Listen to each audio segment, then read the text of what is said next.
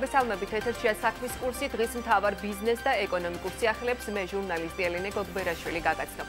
გუშინ ბრიუსელში ევროკავშირ საქართველოს ასოცირების მე-7 საბჭოს ხდომა გამართა. საქართველოს ევროკავშირში გაწევრიანების პერსპექტივა და სტატუსის მიზანიჭებლად გადაცადგმელი ქმედითი ნაბიჯების განხილვა იყო ის ძირითადი საკითხები, რომლებიც საქართველოს პრემიერ-მინისტრმა და საგარეო საქმეთა და უსაფრთხოების პოლიტიკის საკითხებში ევროკავშირის უმაღლესმა წარმომადგენელმა ჯოზეფ ბორელმა პირისპირ შეხვედრაზე განიხილეს.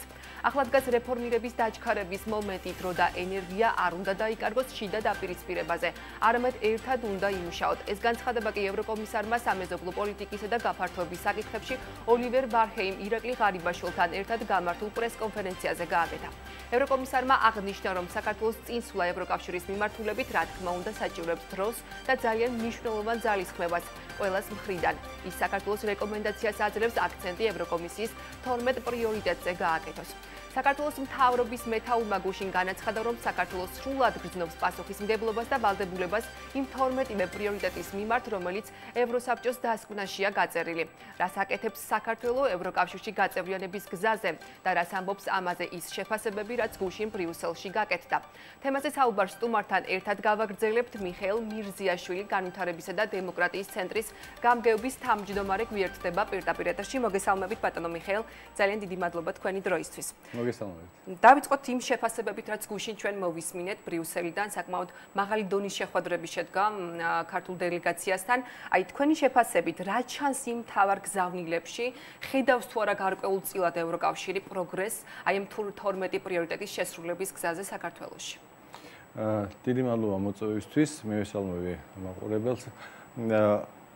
ძალიან მოკლედ რო უპასუხო, დიახ, ამ განცხადებებით ჩანს, რომ იმედი იმისა, რომ საქართველოს შეასრულებს ამ 12 პუნქტიან რეკომენდაციებს, ევროკავშირშიც აქვს. მეორე მხრივ ეს იყო გარკვეულწილად რუტინული შეხვედრა, იმიტომ რომ ყოველ წელს ასოცირების შეთანხმების შესრულების თემაზე მსჯელობს ქართული და ევროკავშირის მხარე და ეს სწორედ თავარი მიზეზი ამ ვიზიტისა ეს იყო პრემიერ-მინისტრის რომ ასოცირების შეთანხმების შესრულებაზე ემსჯელოთ. აგვისტოში გამოქვეყნდა ევროკავშირის საგარეო ურთიერთობათა სამსახურის ანგარიში საქართველოს მიერ ასოცირების შეთანხმების შესრულებასთან დაკავშირებით. სამწუხაროდ იქ ამდენი ოპტიმიზმი არ არის. იქ მითითებულია რომ ღრმა და ყოველწლიური საავაჭრო სივრცის შესახებ შეთანხმების ნაწილში არის საგრძნობი და მნიშვნელოვანი პროგრესი. სამწუხაროდ ნაკლები არის პროგრესი პოლიტიკურ ნაწილში. ეს არის პირველი ნაწილი ასოცირების შეთანხმების და ეს ის ნაწილია, რომელიც ასევე მოიცავს ისეთ თემებს, რაც არის ამ 12 პუნქტიან რეკომენდაციაში. კი ბატონო, გუშინ ჩვენ რაც მოვისმინეთ იგივე ვარჰეის ბორელის მხრიდან კლავ აქცენტი კეთდება იმაზე, რომ საქართველოს არ უნდა დაკარგოს დრო ამ 12 პრიორიტეტის შესრულების მიმართულებით ამ გზაზე და ასევე აქცენტი სწორედ ამ 12 პუნქტზე უნდა გაკეთდეს, კლავ აქცენტი გაკეთდა იგივე სასამართლო სისტემაზე, რეფორმირებაზე, ასევე მედიის თავისუფლებაზე და ასე შემდეგ. აი დღეს რა პროცესში ვართ? ძირითადად რასაც ვაკვირდებით, დეპოლარიზაციის საკითხზეა აქცენტი გაკეთებული. რამდენი რამდენად ვნებს ეს ამ პროცესს? ხომ მარჯობია სხვა საკითხები უფრო აქტიურად წამოვწიოთ წინაპლაზე და ამაზე ვიმსჯელოთ? გაიკვირდება და დავეთანხმებით ჩვენს პარტნიორებს ევროკავშირი და დიახ საქართველოს დრო არ უნდა დაკარგოს. მეც ვფიქრობდი და კლავ ვაგრძელებ ამ ფიქრს, რომ საქართველოს მთავრობა, რომელიც არის პასუხისგებელი საქართველოს ევროინტეგრაციის პროცესზე და კონკრეტულად აი ამ 12 პუნქტიანი რეკომენდაციის შესრულებაზე, უფრო აქტიურად უნდა მოქმედებდეს. ამ განცხადებებში პრემიერ-მინისტრის განცხადებაში ნათქვამი იყო, რომ საქართველოს აქტიურად მოქმედებს ესმის ამ 12 პუნქტიანი რეკომენდაციების შესრულების მნიშვნელობა საქართველოს ევროინტეგრაციისთვის. შექმნეს სამოქმედო გეგმა და ერთ-ერთი რეკომენდაცია, რაც მეც როგორც ერთ აღებულ მოქალაქეს ჰქონდა, ეს იყო, რომ ეს სამოქმედო გეგმა, რომელიც საქართველოს თავრობამ შეიმუშავა, შეთანხმებულიყო ევროკავშირთან. და როგორც ხვდები, მე აი ამ ასოცირების შეთანხმების ასოცირების საბჭოს შეხვედრამდე წინ უსწრებდა ამ შეხვედრას საქართველოს პრემიერ-მინისტრის და საგარეო საქმეთა ევროკავშირის საგარეო საქმეთა ურთიერთობების სამსახურის ხელმძღვანელ ბორელის შეხვედრა, რომელიც ასევე გამოხმაურებიდან როგორც ჩანს ამ თემებს შეეხო. ანუ უხეშად რომ ვთქვა, საქართველოს თავრობამ შეათანხმა ის სამოქმედო გეგმა იმიტომ რომ ამას ძალიან დიდი მნიშვნელობა ჰქონდა რომ აცდენა არ ყოფილიყო რომ ერთნაირი გაგება ყოფილიყო. თუ რას ნიშნავს ეს 12 პუნქტიანი სამოქმედო გეგმა როგორ შესრულებაზეა საუბარი? მეტ შეფასებებს თუ ელოდით ბატონ მიხეილ გუშინდელი აპრეს კონფერენციიდან. ნუ შეფარულად საკმაოდ ესეთი მინიშნებები გაკეთდა მათი მხრიდან მაგრამ ეს უფრო მეტი შეფასების მოლოდინი თუ ჰქონდა და რა ნაწილში იცით ამ ხრივ რაღაცა დამატებითი არ მომხდარა. უბრალოდ დაზუსტება მოხდა.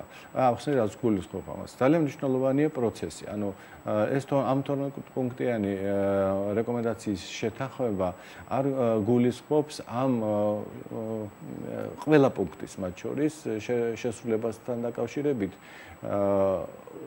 ხელისუფლების თანამშრომლობას ოპოზიციასთან და სამოქალაქო სექტორთან. კიდევ ერთხელ რა თქმა უნდა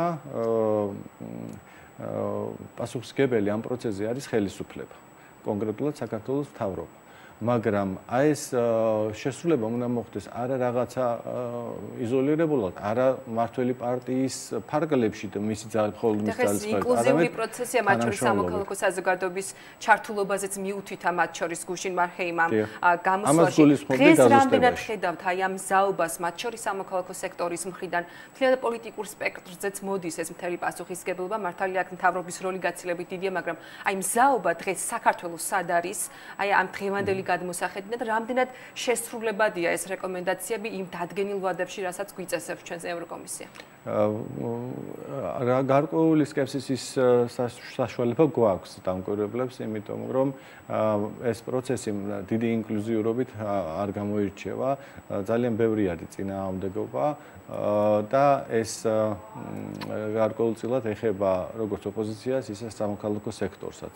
არის ცალკეული ასე ვთქვათ კუნძულები ამ თანამშრომლობის ხელისუფლებასთან. მე მაგალითად კიდევ ერთხელ ვამბობ, არის გარკვეული სკეპსისი იმასთან დაკავშირებით, რომ ამას მოახერხებს საქართველოს, მაგრამ ერთი ძალიან მნიშვნელოვანი რამ უნდა ვთქვა, აი დაზუსტების ნაწილში მინდა ვთქვა, რომ არავის არ გადაუვადებია წლის ბოლოს ამ 12 პუნქტიანი რეკომენდაციების შესრულების ვადა. 12 წლის ბოლოს ევროკომისია შეაფასებს საქართველოს უნარს აქვს თუ არა მას შესაძლებლობა ჩაატაროს შემდგომში ის რეფორმები, რომელიც საჭიროა ევროკავშირის წევრობისთვის. კი ბატონო, ძალიან დიდი მადლობა მინდა გითხრათ თქვენი დროისთვის. დაგემშვიდობებით, საქმის კურსი ამით დასრულებულია. ეთერში ბრუნდებით 15 საათსა და 30 წუთზე BMG TV-ს ეთერში bıraktık.